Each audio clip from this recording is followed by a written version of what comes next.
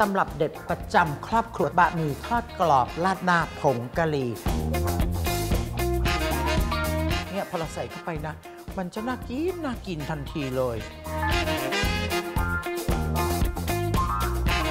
ว้ายตายแล้วคุณภาคคุณเจ้าเป็นรัดหน้าสีสันที่ดูผู้ดีผู้ดีมาก พบกับรายการคุกกิ้งกูรูและอาจารย์ยิ่งศักดิ์ได้ทุกวันอาทิตย์8โมงครึ่งทางอมรินทีวีช่อง 34 นะครับ